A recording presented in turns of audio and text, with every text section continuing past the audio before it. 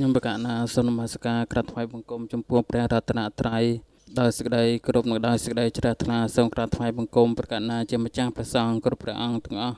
សូមគោរពលោកតាបណ្ឌិតកុលផេងលោកគ្រូធម្មននលោកគ្រូច័ន្ទហួរនិងគ្រប់រាប់អានដល់ពុទ្ធបរិស័ទទាំងអស់បាទចឹងនៅក្នុងពេលនេះយើងសិក្សាប្រសូតជាបន្តទៅទៀតយើងសិក្សាចូលមកដល់ប្រសូតទី2នៃវគ្គទី3ប្រសូតនេះមានឈ្មោះថាខលងកៈសោតឬក៏ខលងកៈ ក្នុងបៃដកខ្មែរយើងសរសេរខលងកៈតែកន្លែងខ្លះឃើញសរសេរខលងកៈខលងកៈហ្នឹងប្រែមកថា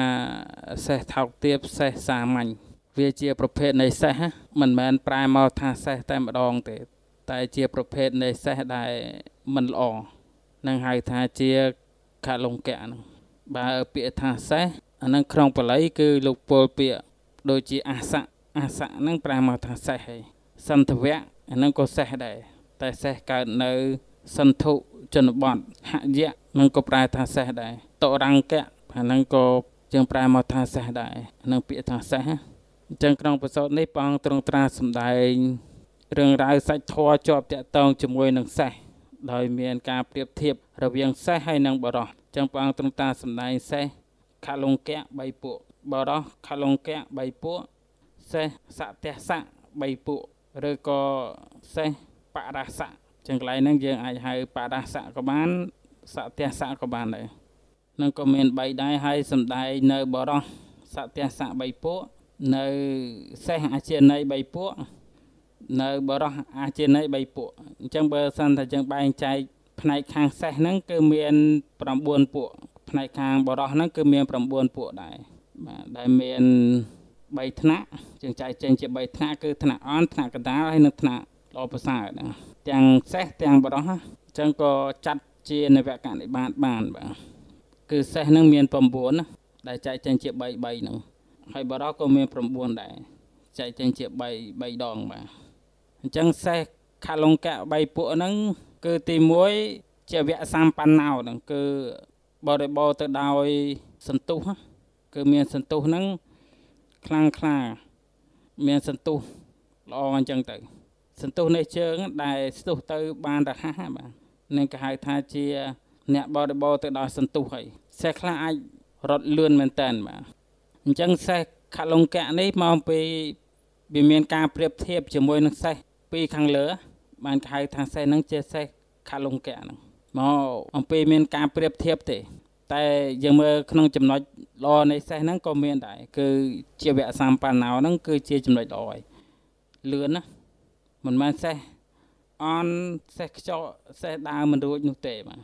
យើងកុំយល់ច្រឡំដល់ថ្នាក់ហ្នឹងបើសិនយើងយកសេះហ្នឹងមកប្រៀបធៀបអាសេះបែបហ្នឹងក៏ហៅថាជាសេះខាឡុងកៈដែរហើយសេះដែលបរិបោទៅដោយសន្ទុះនេះអាហ្នឹងយើងហៅថាជាសេះល្អប្រសើរវិញក៏បានដែរអាហ្នឹងបើសិនថាមានការប្រៀបធៀបទៅនឹងសេះប្រភេទផ្សេងដែលមានសភាពអន់ជាងហ្នឹងយើងអាចនិយាយចឹងបាន តែនេះគឺនិយាយជាប់តាក់ទងជាមួយសេះដែលល្អប្រសើរជាងហ្នឹង ចឹងបានសេះដែលមានត្រឹមតែ សន្ទុះលឿនប៉ុណ្ណឹងក៏ហៅថាជាសេះខាឡុងកៈដែរចឹងសេះទី1ហ្នឹងមានចំណុចល្អទី1ទេគឺមានសន្ទុះហ្នឹងលឿនតែมันបរិបូរទៅដោយសម្បល់มันបរិបូរទៅដោយពណ៌សម្បល់ទេ ហើយมันបរិបូរទៅដោយកម្ពស់និងទំហំទេ វាអត់ពេញលក្ខណៈជាសេះល្អដែលមានតម្លៃថ្លៃបាទទោះជាមានលបឿនលឿនអីក៏ពិតមែនតែ ពណ៌សម្បល់ក៏មិនសូវស្អាតហើយនឹងកម្ពស់ទំហំហ្នឹងមិនសូវសមរម្យអញ្ចឹងក៏មិនសូវបានថ្លៃដែរហ្នឹងជាសេពខាឡុងកៈប្រភេទទី1ហើយប្រភេទទី2បរិបូរទៅដោយសន្ទុះបរិបូរទៅដោយសម្បល់តែមិនបរិបូរទៅដោយកម្ពស់និងទំហំបាទនឹងជាប្រភេទទី2ហើយប្រភេទទី3បរិបូរទៅដោយសន្ទុះផងបរិបូរទៅដោយសម្បល់ផង បរិបូរទៅដោយកម្ពស់និងទំហំផងអញ្ចឹងអាកន្លែងហ្នឹងឯងដែលខ្ញុំចង់បញ្ជាក់ឲ្យយើងយល់ថាចុះបើសិនបរិបូរទៅដោយអង្គទាំង3អញ្ចឹងហើយមិននៅតែហៅថាជាកាលង្គៈដដែលអាហ្នឹងគឺមកពីមានការប្រៀបធៀបទៅលើសេះដែលផ្សេងដែលល្អជាងហ្នឹងអញ្ចឹងសេះហ្នឹងទៅជាសេះកាលង្គៈទៅហើយបើសិនថាយកសេះដែលបរិបូរទៅដោយអង្គទាំង3ហ្នឹងដែលមានសន្ទុះនឹងក៏ខ្លាំងក្លាពណ៌សម្បល់នឹងក៏ល្អហើយកម្ពស់ ទំហំអីក៏សមរម្យហើយយើងយកទៅប្រៀបធៀបជាមួយសេះខ្ចក់ចាអាសេះខ្ចក់ហ្នឹងទៅជាសេះខាឡុងកែទៅនេះគឺមកអំពីការប្រៀបធៀបយើងយល់ទេយល់ក្នុងការសម្ដែងរបស់ព្រះអង្គនឹងទេប្រៀបធៀបជាមួយនឹងសេះសត្វទេសៈនោះហើយប្រៀបធៀបជាមួយនឹងសេះអាជាណីនោះបានទៅជាសេះហ្នឹងទៅជាសេះខាឡុងកៈណាអាហ្នឹងជាសេះ3ពួកហើយព្រះអង្គទ្រង់តាំងសម្ដែងពេលបរោះ សម្ដែងនឹងឆ្លាស់គ្នាបាទសេះខលង្កៈ3ពួកបរោះខលង្កៈនឹង3ពួកដែរបរោះខលង្កៈ3ពួកនឹងបរោះទី1គឺបរិបោទៅដោយសន្ទុះតែមិនបរិបោទៅដោយគុណមិនបរិបោទៅដោយកម្ពស់និងទំហំទេ បាទនឹងជាបរោះខលង្កៈទី1បាទបរិបោទៅដោយសន្ទុះតែម្យ៉ាងឯងអញ្ចឹងសន្ទុះរបស់បរោះក្នុងទីហ្នឹងគឺព្រះអង្គទ្រង់តែសម្ដែងអំពី ការដែលមានញាណបញ្ញាដឹងច្បាស់តាមពិតថានេះជាទុក្ខនេះជាទុក្ខសមុទយៈនេះជាទុក្ខនិរោធនេះជាទុក្ខនិរោធគមនីបដិបទាអញ្ចឹងការដែលមានបញ្ញាញាណដឹងច្បាស់តាមពិត នៅសភាវៈធម៌យ៉ាងនឹងបាននឹងហៅថាជាសន្ទុះរបស់បរោះសន្ទុះរបស់ភិក្ខុតែពេលមានការសាក់សួរឡើង មានប្រស្នាបញ្ហាសាក់សួរឲ្យ វិសាជនីឡើង មានបច្ឆាការសាក់សួរឡើង ដែលគេសាក់សួរនៅក្នុងអភិធម្មហើយនិងអភិវិន័យអញ្ចឹងដោះស្រាយមិនបរិបូរមិនមិនចេះដោះស្រាយទេពីព្រោះអីមានញាណមានបញ្ញាអាចកំណត់ដឹងនៅអរិយសច្ចៈបានហើយតែគ្រាន់ថាមិនតន់ជ្រាវជ្រះនៅក្នុងព្រះបរិយ័តឲ្យខ្លាំងខ្លាយអញ្ចឹងអញ្ចឹងបើសិនគេសួរនៅក្នុងអភិធម្មហើយនិងអភិវិន័យដោះស្រាយមិនបរិបូរអញ្ចឹងនឹងគេហៅថាមិនបរិបូរទៅដោយគុណបាទគុណកន្លែងហ្នឹងគឺសំដៅទៅលើការដោះស្រាយបញ្ហាជាប់តាក់ទងជាមួយនឹងអភិធម្មហើយនិងអភិវិន័យ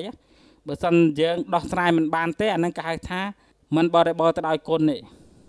អភិធម្មកន្លែងហ្នឹងគឺសំដៅទៅលើ នាមរូបបរិច្ឆេទៈគេហៅថាជាអភិធម្មឬក៏អភិធម្មអបិដកនៅក្នុងយោជនីបាចិត្តយាតិគឺលោកសំដែងចេញជាពីរន័យបើគឺសតន្តៈបាលិតោអភិអតរេកោអភិវិសិទ្ធោវាធម្មោអភិធម្មោពាក្យថាអភិធម្មហ្នឹងធម៌ដែលក្រៃលែងជាងសតន្តៈដែលវិសេសជាងសតន្តៈនឹងហៅថាជាអភិធម្មអញ្ចឹងអភិធម្មនឹងសំដៅទៅលើអ្វីគេគឺសំដៅទៅលើ នាមរូបបរិច្ឆេតកៈនាមរូបបរិច្ឆេតកៈឬក៏នាមរូបបរិច្ឆេទណា ហៅត្រឹមថាបរិច្ឆេទៈក៏បានចង់ថាម្សកមួយទៀតក៏បានដែរហើយម្យ៉ាងទៀតគឺសំដៅទៅលើអភិធម្ម3ដកអញ្ចឹងទៅហ្នឹងគឺមាន2អ្នកខ្លះគាត់និយាយតែមួយឯងតែទៅហ្នឹងគឺចង់និយាយពីរក៏បានដែរអត់អីទេពាក្យថាអភិធម្មហ្នឹងហើយកន្លែងខ្លះទៀតគេសំដៅទៅលើពោធិបក្ខយធម៌37អានឹងកន្លែងខ្លះទៀតផ្សេងតែបើកន្លែងនេះសំដៅទៅលើនាមរូបបរិច្ឆេទកៈហើយនឹងអភិធម្ម3ដកធម៌ដែលក្រៃលែងដែលពិសេសជាងសតន្តៈអានឹងហៅថាជាអភិធម្មហើយអភិវិន័យមានន័យថាការដែលក្របសង្កត់ញោមញីហើយនាំនៅកាយវាចាឬក៏ទូមាននៅកាយវាចាអានឹងគេហៅថាជាអភិវិន័យ ញោមញីនៅកិលេសអកុសលអញ្ចឹងទៅហើយទូមាននៅកាយវិចារហ្នឹងឲ្យរៀបរយនឹងហៅថាជាអភិវិន័យអញ្ចឹងអភិវិន័យហ្នឹងគឺសំដៅទៅលើវិន័យបេដកទាំងអស់អញ្ចឹងនេះគេសាកសួរជាប់តាក់តងជាមួយនឹងនាមរូបបរិឆេទឬក៏សួរជាប់តាក់តងជាមួយអភិធម្ម3ដកអញ្ចឹងហើយនឹងសួរជាប់តាក់តងជាមួយព្រះវិន័យអញ្ចឹងតែយើងដោះស្រាយមិនបរិបូរទេអញ្ចឹងនឹងមានន័យថាយើងមិន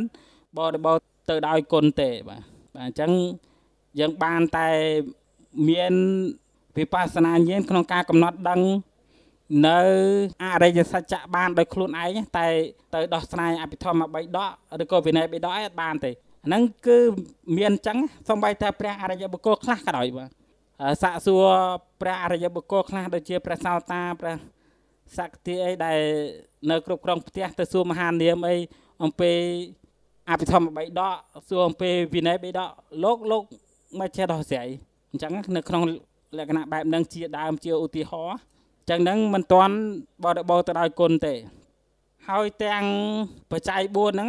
ចៃវរៈបច្ច័យបណ្ឌបាតសនសនៈកិលានបច្ចយៈភេសជ្ជៈបរិខាហ្នឹងក៏ជាអ្នកឆ្នៃលៀបដែរឆ្នៃលៀបហ្នឹងភាសាខ្មែរយើងពាក្យបុរាណរាល់ថ្ងៃគេអត់សូវប្រើទេ គឺមានតែពោលនៅក្នុងបៃដកអញ្ចឹងតែនឹងពាក្យខ្មែរសតហើយមិនបល័យទេបាទឆ្នៃហ្នឹងមានន័យថាមិនមិនកប់ មិនកប់ហ្នឹងគឺមានន័យថារកអត់សូវបានណាយល់ពាក្យយល់ពាក្យថាយើងរកអត់សូវបានទេដូចថ្ងៃនេះថាឆ្នៃណាស់មានន័យថាយើងថ្ងៃហ្នឹងរកអីអត់បានមកឆ្នៃឈរជាងនៅស្អែនឹងឆ្នៃហ្នឹងពាក្យខ្មែរយើងអញ្ចឹងបើសិនថា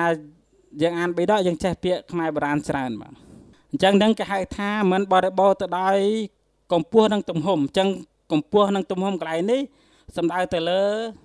លៀបសការៈដែលជាបច្ច័យ4 កន្លែងណាបាទនឹងគេហៅថាជាខលង្កៈបរោះទី1ហ្នឹងបរោះខលង្កៈអញ្ចឹងមានតែញាណបញ្ញាដែលមានការកំណត់ដឹងនៅអរិយសច្ចៈបាន តែมันអាចដោះស្រាយអភិវិន័យมันអាចដោះស្រាយអភិធម្មបាន ហើយក៏ជាអ្នកឆ្នៃលៀបដែរអាហ្នឹងគឺជាប្រភេទទី1គឺមានអង្គ3ហ្នឹងហើយបរោះខលង្កៈទី2បាទបរិបោទៅដោយសន្ទុះផង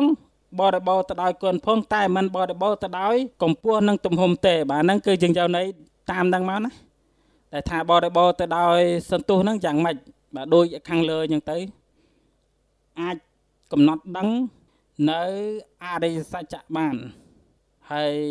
ដែលថាបរិបរទៅដោយគុណអាចដោះស្រាយបញ្ហានៅក្នុងអភិវិន័យហើយនិងអភិធម្មបានដោយស្រួលមិនទើសទាល់ហើយដែលថាមិនបរិបរទៅដោយទំហំនិងកម្ពស់ហ្នឹង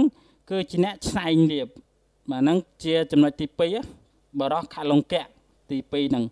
ដល់ពេលទី3គឺបរិបរទៅដោយសន្ទុះបរិបរទៅដោយគុណនិងបរិបរទៅដោយទំហំនិងកម្ពស់បាទហ្នឹងគឺមានអង្គប្រកបព្រមទាំងអស់ហ្នឹងគឺថែមតែចំណុចល្អចុងក្រោយហ្នឹងគឺជាអ្នកស្វាក់លៀបអញ្ចឹងមានបញ្ញាញាណក្នុងការកំណត់ដឹងនៅអរិយសច្ចៈនឹងផង មានបដិភានក្នុងការដោះស្រាយបញ្ហា ក្នុងអភិវិន័យក្នុងអភិធម្មនឹងផងហើយជាអ្នកស្វាក់លៀបបាទអញ្ចឹងលែងឆ្នែងទៅជាស្វាក់វិញស្វាក់ហ្នឹងក៏ជាភាសាខ្មែរយើងដែរគឺប្រែមកថាដែលចេះតែសំប្រកបនឹងស្វែងរក ដែលចេះតែជួបប្រទះលៀបដែលចេះតែងាយប្រទះងាយបាន មនុស្សស្វាក់លៀបបាទអញ្ចឹងស្វាក់ហ្នឹងគឺវាបានងាយងាយបាទចុះបើយើងគិតមើលទៅគឺ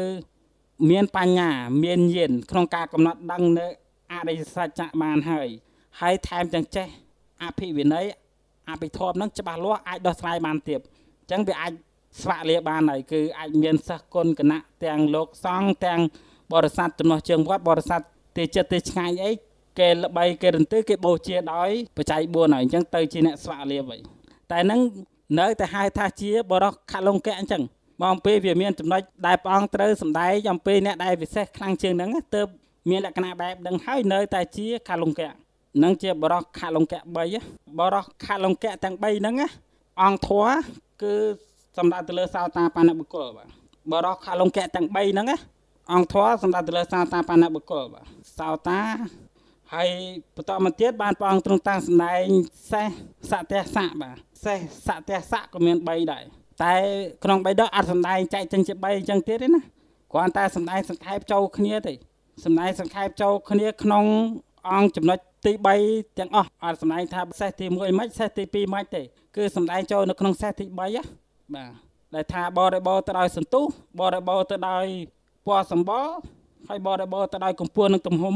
ចឹងអាពាក្យហ្នឹងនៅតែដដែលទេចុះយើងគិតថាវាផ្សេងគ្នាអំពីខាលងកែមិនទៅយើងយករបស់ពីរទោះជារបស់ហ្នឹង ដូចយើងនិយាយថាមានអង្គប្រកបដូចគ្នាក៏ដោយតែកម្លាំងវាខុសគ្នាបើយើងនិយាយពីសន្ទុះសេះវាមានសន្ទុះយើងដាក់ឲ្យវារត់ទៅសេះណារត់លឿនជាងអាហ្នឹងវាលើសហើយបាទអាសេះដែលរត់ចាញ់គេហ្នឹងវាទៅជាខាលងកែទៅអាពេលអាសេះដែលរត់បានឈ្នះហ្នឹងទៅជាសត្យស័កទៅហើយពេលយកសេះសត្យស័កហ្នឹងយកទៅប្រកួតជាមួយសេះអាជាណីអាហ្នឹងចាញ់សេះអាជាណីអញ្ចឹងទៅអញ្ចឹងអាត្រង់ហ្នឹងឯងដែលខ្ញុំចង់និយាយថាគឺមានការប្រៀបធៀបគ្នាអញ្ចឹងណាអញ្ចឹងក៏ចែកចាញ់ជា3ទៅអាហ្នឹងយើងធ្វើដោយពឹសស្រាដោយខ្លួនឯងទៅហើយអញ្ចឹងទៅបានបងត្រង់តាសម្ដែងបរោះសត្យស័ក3បាទបរោះសត្យស័ក3ហើយបរោះសត្យស័ក3ហ្នឹងក៏សម្ដែងសង្ខេបដែរអត់សម្ដែង1 2 3ឯងគឺសម្ដែងសង្ខេបចូលគ្នាក្នុងចំណុចទី3ហ្នឹងតែម្ដងណាអញ្ចឹងបានជាសេចក្តីចេញមកថាចុះបរោះ សត្យស័កបរិបោទៅដោយសន្ទុះបរិបោទៅដោយគុណបរិបោទៅដោយកម្ពស់ដោយបដិចអាហ្នឹងมันជាចំណុចទី3តែចំណុចទី2ទី1យើងក៏បីធ្វើដូចក្នុងចំណុចខាងលើទៅព្រោះវាខុសគ្នាត្រង់តែអារឿងចំណុចទី3ហ្នឹងទេអញ្ចឹងនេះវាមានចំណុចខុសគ្នាតែបន្តិចទេព្រះអង្គទាំងតាសម្ដែងថាបរិបូរទៅដោយសន្ទុះហ្នឹងណាវាខុសគ្នាត្រង់អាពាក្យថាជាវៈសម្បណ្ណោបរិបូរទៅដោយសន្ទុះហ្នឹងខុសគ្នាតែប៉ុណ្្នឹងឯង បាទអារឿងបរិបូរទៅដោយវណ្ណៈដែលថាសំដៅទៅលើគុណហើយនឹងបរិបូរទៅដោយទំហំហើយនឹងកម្ពស់ហ្នឹងដែលសំដៅទៅលើបច្ច័យ4ដូចគ្នាទេគឺខុសគ្នាត្រង់តែជាវៈសម្បណ្ណោអញ្ចឹងជាវៈសម្បណ្ណោនៃបរោះសត្យស័កគឺសំដៅទៅលើព្រះអនាគាមីបាទនឹងក៏អង្គធរយើងយកព្រះអនាគាមីពីព្រោះអីធ្វើឲ្យអស់ទៅនៃសង្យោជនៈខាងក្រៅនឹង5ជាអោបបាតិកៈ ហើយនឹងបរិណិព្វាននៅក្នុងទីនោះมันបានមកកាន់លោកនេះទៀតទេបាទអញ្ចឹងខុសគ្នាតែប៉ុណ្ណឹងទេ គឺខុសគ្នាត្រង់ចំណុចទី1ណាដែលថាជីវៈសម្បណ្ណោណាចឹងយកអង្គធរជាព្រះអនាគាមីអញ្ចឹងចប់ហើយចប់សេះសត្យស័កហើយនឹងបរោះសត្យស័ក3ពួកអញ្ចឹងចូលមកដល់សេះអាជាណី3ពួកបរោះអាជាណី3ពួកបាទអញ្ចឹងសេះអាជាណី3ពួកបាទទី1ទី2ហ្នឹងគឺយើងយកតាមន័យដូចគ្នាអញ្ចឹងទៅ ហើយក្នុងចំណុចទី3ហ្នឹងបរិបោទៅដោយសន្ទុះបរិបោទៅដោយសម្បល់បរិបោទៅដោយកម្ពស់ហើយនឹងទំហំបាទនឹងចប់សេះអាជាណី3ពួកពេលមកចូលមកដល់បរោះអាជាណី3ពួកទី1ទី2គេអត់និយាយទេក៏បីឲ្យយើងធ្វើសេចក្តីពឹស្រាដោយខ្លួនឯងអញ្ចឹងគេមកបញ្ចូលក្នុងចំណុចទី3ហ្នឹងអញ្ចឹងបរោះអាជាណីចំណុចទី3បរិបោទៅដោយសន្ទុះបរិបោទៅដោយគុណបរិបោទៅដោយទំហំហើយនឹងកម្ពស់ ចំណុចខុសគ្នាត្រង់ថាជីវៈសម្បណ្ណោនេះគឺសំដៅទៅលើព្រះអរហន្តពីព្រោះឯជាអ្នកបាននៅចេតវិមុតហើយនឹងបញ្ញាវិមុតដែលមិនមានអសវៈព្រោះអស់ទៅនៃអសវៈដោយប្រាជ្ញាដ៏ដំដោយខ្លួនឯងក្នុងពេលបច្ចុប្បន្នអញ្ចឹងយើងយកអង្គធម៌ជាព្រះអរហន្តបាទហ្នឹងយើងមើលទៅសំបីតែព្រះអរហន្តក៏ដោយតែពេលខ្លះលោកអត់បរិអត់បរិបូរទៅដោយគុណដែលជាអ្នកអាចដោះស្រាយបញ្ហានៅក្នុងអភិវិន័យអភិធម្មបានទេ បែរថា